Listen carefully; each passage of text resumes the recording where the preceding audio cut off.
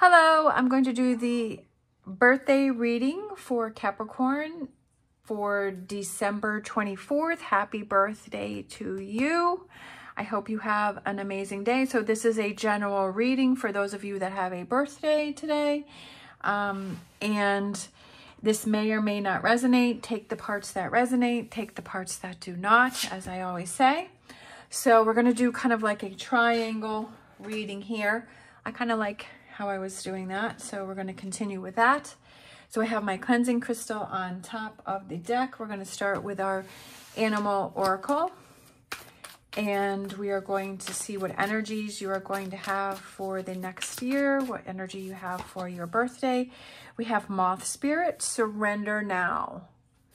Okay, so maybe this year is like you're letting go of things that are holding you back, that you're letting go of things that are not serving you, that have kind of expired, you know, letting go of things, not holding on to things. Sometimes, you know, we have a tendency to just, oh, I'm going to hold on to that little negative tidbit just in case I need to throw it back in that person's face. And who is that really serving? It's not affecting that person, but it you know, maybe affecting you. So I feel that this year is a, it's a good, good thing is because you're kind of shedding those skin and, and surrendering and letting go of what's not serving you, or could be also kind of surrender and just kind of facing challenges or facing things and not kind of sweeping things under a rug, but saying, okay, now I'm ready to work on this and deal with this.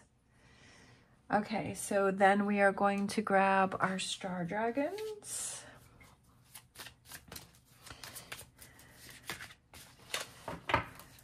So we have understanding, looking at both sides, and we have transcendence, achieving success. So I feel that's really important because it's kind of realizing if I keep holding on to things that don't serve me, how is, you know, how is that working for me? If I'm holding on to things that, you know, I want to maybe throw back in someone else's face later, like that's not hurting them, it's only hurting myself. Or looking at that if I don't deal with situations, that it's just going to keep building and building and building. And then we have achieving success. How do you achieve success? it's closing the doors on some things and that leaves space to open the doors on other things, on new things, on different things, and things that bring more happiness and joy.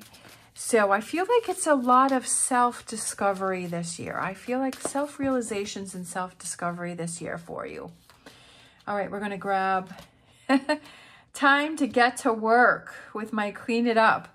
I like that one. I like the chop wood and clean it clean, clean it up. Clean it up can be, right, surrendering now, dealing with situations.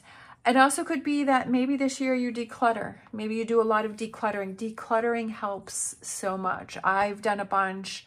My sister's done a bunch. My mother's done a bunch. And it's so freeing when you have that decluttering and you get rid of those things that no longer serve you or maybe remind you of negative things or, you know, you free up space to not feel so like clutter gives me anxiety. But clean it up can represent to many different things. It could be mentally or physically. We have breathe, time to relax, time to breathe, time to be calm, and then we have message in a bottle. That there is a message that is trying to get through to you, that you may receive a very important message this year, um, a life-changing message, a message that really can it could be a job opportunity in a different area. It could be a new job. It could be a someone that reaches out to you that you haven't heard. It could be some communication. It could be anything. We have the little telephone which is inside of the bottle. It could just be you getting that message that I don't want to hold on to things that don't serve me. So there is a message that is trying to get through to you and I also feel that it's this calmness, which I like that kind of right in the middle here, which is that calmness and breathing and, and feeling more relaxed this year. And, and that's because you've let go of what doesn't serve you, that you're focusing on what, of achieving success, whatever success may represent for you. Um, and that you're in charge of that. And to get to work, right? To clean those things up, clean up those loose ends, clean up those things that are kind of out there hanging that aren't serving you. All right, we're going to grab some tarot cards. We have, I love it, Page of Cups. We have the Knight of Cups. So I feel like it's almost like that progression of going from the Page of Cups to the Knight of Cups. So it's like your your feelings become stronger and I almost feel like you're like you're maturing and like you're growing up. And you're realizing okay what's important to focus on and what's what's what's not. I have blue lots of blue here. Lots of blue. Um so we have the page of cups the knight of cups the ace of swords which I love that. Aces are new beginnings. It's a new way to see things and analyze things and look at things. And I feel like it starts to make sense. And I feel like also don't give up on yourself. And then I feel like one more. So we have judgment. There's a message. Again, messages trying to come through to you and to hear the message that maybe this is the year that you hear the message that maybe this maybe you've been repeating some patterns maybe you've been doing kind of the same thing it's the same kind of relationships the same kind of things happen the same kind of situations and that this is a year for you to break free from that but I feel like this may be challenging for you, especially when we have the surrender now. Um, and I feel like there may be some challenges here for you and with the clean it up. Don't give up because that's showing how strong you are and to have that persistence to work through those challenges. Because like I said, I've said many times before is that when you have those challenges, it's, it's, it's there for you to see something, for you to learn something. What message can you get from those more difficult times, from those challenges that you have? What's the message or understanding? Could just be, hey, I'm a strong person and I was able to deal with a, you know, a, an uncomfortable situation, right? And I feel like there's a message in everything. And it's almost like when things are going good and things are are kind of just moving along there that there that really not much is going on but you learn the most when those challenges happen. And to not give up when those challenges happen because there's a message that's trying to get through to you and a sense of freedom with those doves there. It just caught my eye. That there's a sense of freedom when you're able to push through those more difficult situations.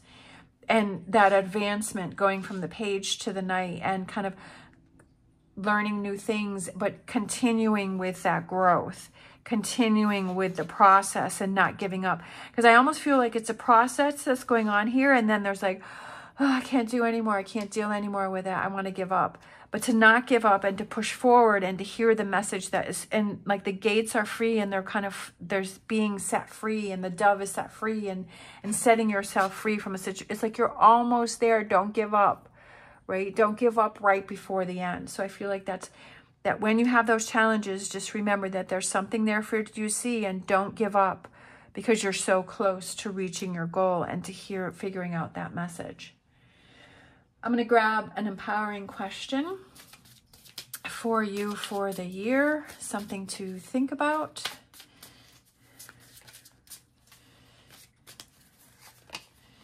We have what kinds of reoccurring situations or people do I attract, which is so funny because I feel like that's that's what I had said earlier. Is there lessons that you need to learn and you keep repeating some patterns? So again, here is that confirmation that I was on the right track is that what kinds of reoccurring situations or people do I attract? What kinds of lessons might they have about myself? Again, learning that there's a message trying to get through to you. Does something keep happening for you to see something, right? For you to learn from it, for you, from you, for you to grow from it. And what can I, what can you learn from that? That's what I said is with those challenges, don't give up on it and don't stop it because there's something for you to see and learn from it. Let's grab a angel answers. Oh, oh you got two. You got a bonus. We got wait and we have ask for help for others. So that could be a special message just for someone is that if, if there's something that you're deciding to do, that these cards are saying wait and ask for help for others to not just jump in with something and to maybe sometimes like we we all have that person or people that we can run things by them and see what their opinion is. Doesn't mean you have to follow that but it could just be like sometimes they have a perspective that we're not able to see or we don't quite get it and then they say it and you're like oh okay.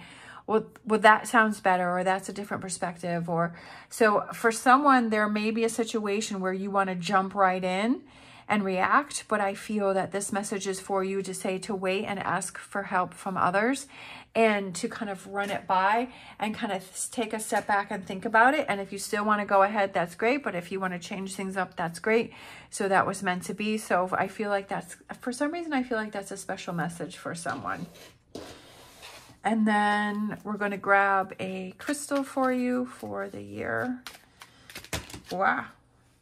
I feel like this one right here. So that one's really pretty. I wonder if it's amethyst. No. Lepidolite. Transition, release, and change. Look at that. Again, surrender now and release, release and um, transcendence and transition. So I love how it's repeating energies, repeating messages. Change is coming. I love it because that's what's happening here is change is coming. Um, and this crystal is a perfect crystal to help you with those transitions. By becoming aware of bad habits and patterns, we can release them to make room for new, one, new ones that sustain a healthy lifestyle. That's exactly what I was saying is closing the doors on what doesn't work for you and opening up those new doors and getting rid of the, clean it up, clean up those bad habits, right? Clean up those, those negative things, whether it's physically, mentally, or both, right? Clean those up and making room for new ones um, that sustain a healthy lifestyle. Healthy lifestyle, I feel, goes with this breathe card where you feel calmer, you feel more relaxed, you're not worried about things, you're not stressing about things. Does it ever completely 100% go away? No, but you're having more calmer, um, relaxed days. This crystal helps us let go of attachments to old behaviors and addictions, clearing away emotional ties to the stories we tell ourselves. This crystal encourages self-love on all on all levels, even if we need to step away from our current way of doing things to establish that trust. So I feel like that goes with this wait. Um, write the story you want to live. Perfect. Write the story that you want to live and create that life that you want to live with this Ace of Swords here. And don't give up right before you're ready to reach that, right before it's ready to happen. I feel this year that you're going to have some challenges, but I feel you're going to learn a lot from them. I feel like you're going to be letting go of a lot of things. You're going to be releasing a lot of things, but you're also going to be putting, bringing in a lot of, a lot of new things. I also feel like things are going to make sense to you this year. I feel like they're going to kind of you're going to realize a lot of things about yourself, and I feel like you're going to be changing some habits that you used to do, that you're no longer going to do those because those are not serving you. And I feel you're going to learn a lot about yourself and that you're going to look out for yourself more and it's more self-love and, and self self-care that you're going to be doing and i feel that that's going to result in, in a calmness that you feel within yourself because you're like, I'm not going to worry about those things anymore and I'm not going to put that self, that into my, but I also feel like you want to learn about things like why you're letting go of things or why um, things are happening. And I feel like you're kind of questioning, like you want to learn a lot about that too, lear learning a lot about yourself too. And I think that's an amazing good thing. All right. Thank you so much for watching. I hope you have an amazing birthday and an amazing year. It looks like you have some amazing changes that are coming your way that are going to be happening and that you're more in control of your life. If you like this reading, please give me a thumbs up and subscribe. I would greatly appreciate it. As always, stay positive, stay safe, and I will see you next time.